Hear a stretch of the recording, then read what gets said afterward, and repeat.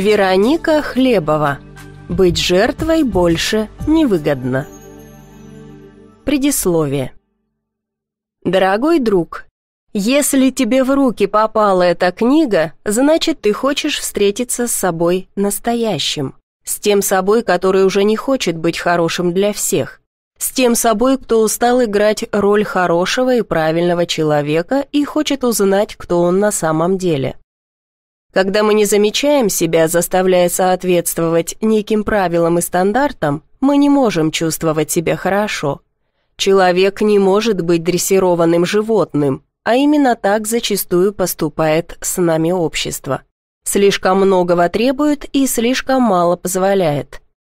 У нас внутри постоянно живет страх отвержения этим обществом, который мы проецируем на значимых людей. Так мы отдаем им право судить нас, оценивать, признавать достойным для вхождения в такое общество. В обществе, где никто не может выражать себя свободно, не может быть радости, но появляется слишком много претензий. В обществе, где нельзя быть собой, скапливается энергия раздражения, сопротивления. Мы все-таки сопротивляемся подавлению, но все сопротивление множит напряженность, а не легкость, обвинений, претензий. В обществе, наполненном напряжением и обвинениями, неизбежно вспыхивают конфликты, в том числе глобальные. Как только мы переводим фокус внимания с того, чтобы кому-то и чему-то соответствовать, на то, чтобы почувствовать себя и услышать, мы перестаем делать вклад в общее напряжение, и оно уже меньше способно производить конфликты и войны. А если так поступают множество людей, то конфликты остаются без энергии. Энергия уходит в исследование, самопознание, облегчение своих страданий, благодаря работе со своими травмами.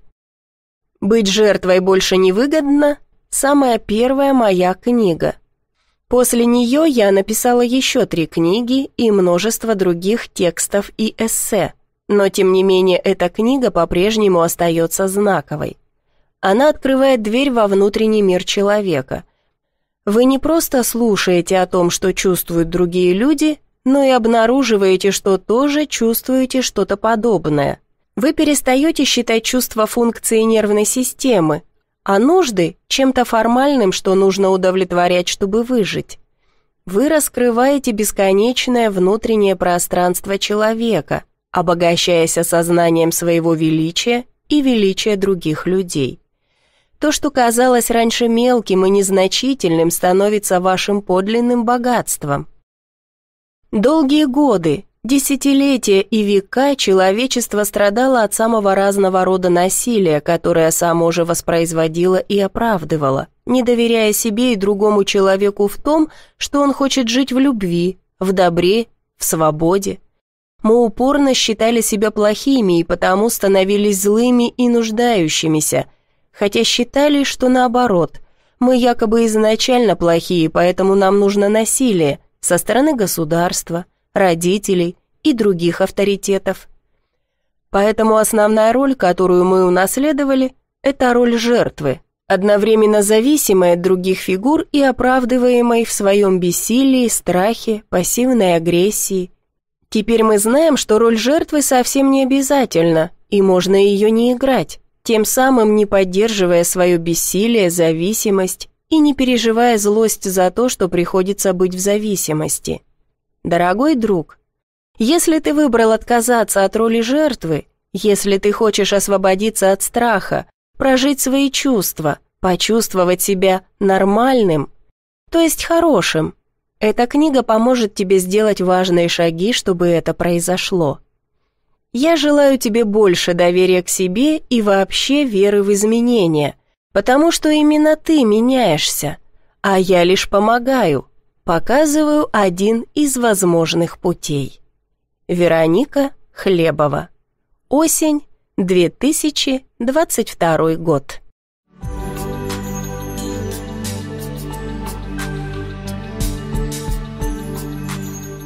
Часть первая. Я и мои отношения с собой. Первое. Мои чувства важны? Я и моя нужда. На краю бездны. У каждого есть своя ненужность, свой дефицит, своя нужда. Я стою на краю своей пропасти и смотрю вниз. В этом месте, в этой точке жить не хочется. Кажется, что жить с таким дефицитом любви слишком тяжело, с таким дефицитом, который останется навсегда. Эта нужда, эта тоска по недостающему и недоставшемуся никуда не уйдет. Даже когда ответственные за образовавшуюся нужду найдены и обозначены, ущерб уже не исчезнет. Я остаюсь со своей нуждой один на один. Теперь я одна отвечаю за нее. Я одна отвечаю за свой голод. Я одна должна кормить себя. Я так хотела, чтобы любили меня, признали достоинства мои, имели дело со мной, видели меня, а не желательную девочку. Не такую девочку, которую хотелось и мечталось видеть. Не такую, которую хотелось бы всем показывать, гордясь своими родительскими достоинствами, но меня. Я хотела, чтобы меня заметили, чтобы обратили внимание на то, что я люблю и что мне не нравится, о чем мечтаю, что меня трогает, заботит. Я хотела, чтобы мне сказали «Как хорошо, что ты у нас есть». Вот такая, мечтательная, неторопливая, бесстрашная и рисковая, чувствительная, ранимая. И чтоб спросили «А чем мы можем быть полезными тебе? И еще, как же мы тебя уважаем! Ты умная, и как здорово все у тебя получается!» Я этого хотела всегда, в три года, в семь лет и в четырнадцать. Теперь я тоже этого хочу, но уже от других людей. Не столь важно, признаю я свою нужду или же прячу, убеждая себя в том, что у меня все хорошо, она у меня есть. А жду я все того же, чтобы любили меня, признали достоинства мои, имели дело со мной, видели меня, а не желательную женщину. Когда я много и долго голодна, я жду со всей страстью и масштабом. Я жду, чтобы меня накормили конкретные люди, те, кого я выбрала. И отвечали бы за меня, за мое кормление Всегда. Они давно противостоят друг другу, их отношения – это война, затяжная, без скидок на человечность. Они лупят друг друга по самым больным местам, они расходятся лишь для того, чтобы залезать раны, чтобы потом снова в бой.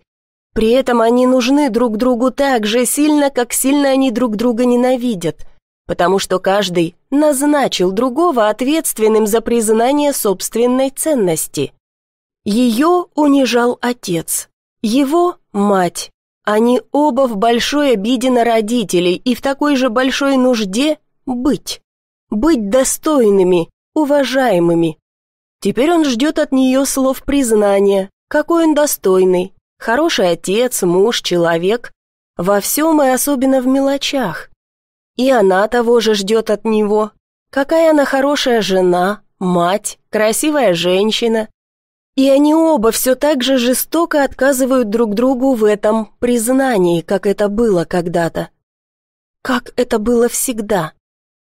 По каким-то невидимым глазу признакам проекция вытаскивает из большого числа людей того самого, который энергетическим рисунком напоминает родителя.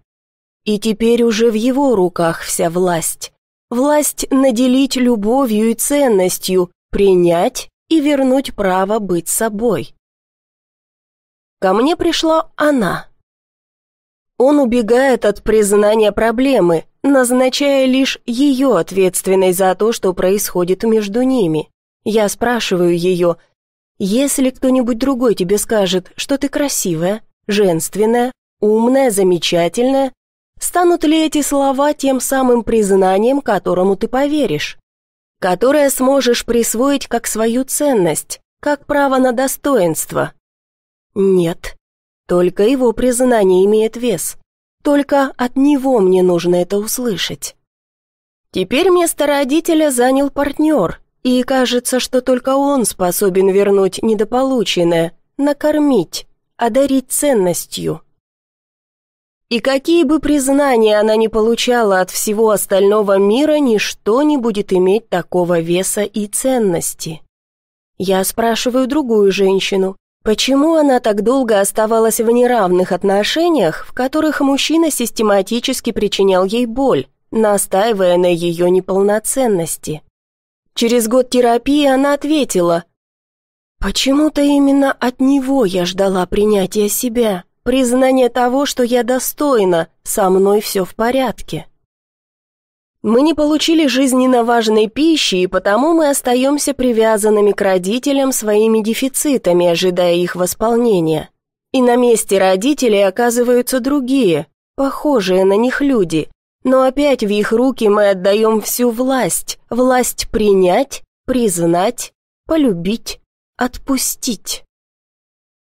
Однако любой маломальский честный взгляд на подобную ситуацию приведет к разочарованию и новой порции боли.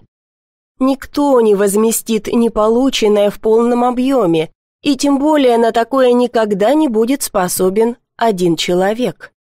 Посему критически важно осознавать свой дефицит и свою привязанность к человеку, от которого мечтается получить возмещение. В этом случае мы почти наверняка обнаружим себя в теснейших созависимых или контрзависимых отношениях. Потому что неосознанный дефицит проявляется именно так.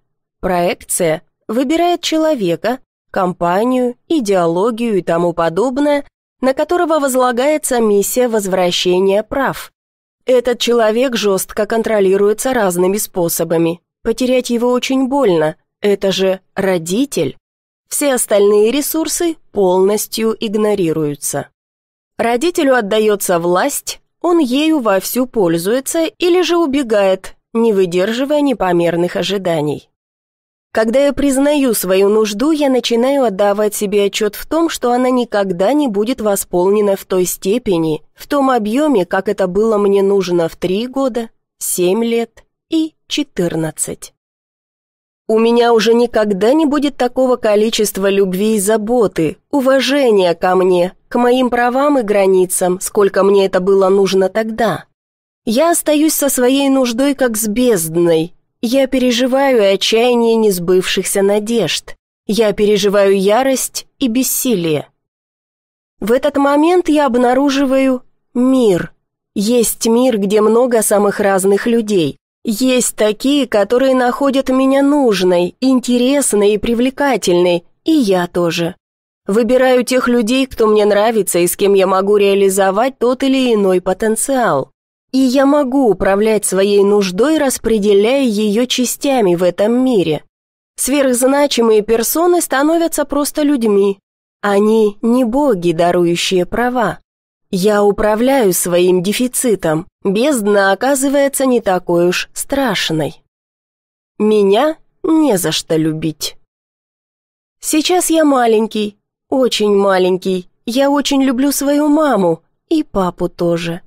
Я ловлю каждое их слово, каждый жест. Почему-то мне так же важно, чтобы они любили меня. Например, если посмотрели радостно и сказали что-то в духе как же нам повезло, что ты у нас есть. Мы так ждали такую девочку, такого мальчика, как ты. И, наконец, дождались. Как мы теперь счастливы. Но почему-то они этого не говорят. Они очень заняты своими заботами. Они делают свои очень важные дела, работают, зарабатывают, ходят в магазин, убираются, разговаривают с родственниками и знакомыми, они очень заняты своими отношениями, ругаются, дуются, доказывают что-то друг другу. Меня почему-то не замечают, замечают только для того, чтобы покормить или показать врачу. А если я современный ребенок, то меня много развивают и готовят к школе. И дают мне то, что им, родителям, не хватило. Игрушки, поездки, занятия и много чего еще, что важно для них, не для меня. Я почему-то не чувствую, что меня любят, хотя мне даже об этом могут говорить. Мне тоскливо и одиноко. Я пробую обратить на себя внимание, но у меня плохо получается. Если я капризничаю, то на меня сердятся. А если я что-то хочу рассказать о себе, не слушают. Я убежден, что любовь нужно заслужить. Я пробую, подстраиваюсь, не отсвечиваю. Помогаю, болею, стараюсь, но ощутить себя любимым до конца мне все равно не удается. А еще мне рассказывают о других детях. Какие они замечательные, воспитанные, способные, чуткие. Наверное, мама с папой их любят, а меня нет. Я же не такой. Таких, как я, не любят.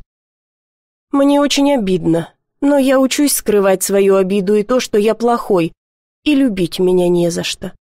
А тех, кого они любят, я ненавижу и ревную. Я подросток. Я учусь протестовать. Не любите меня настоящим, не любите меня, когда я хочу быть собой. Не надо.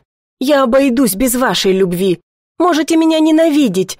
Мне по барабану. Я найду тех, кто полюбит меня.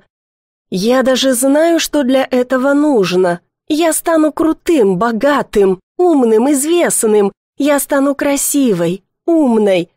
Мы оба станем профессионалами. Меня будут ценить бояться, уважать и любить. Хотя у меня в глубине души все еще живет маленький ребенок, который убежден, что любить его не за что.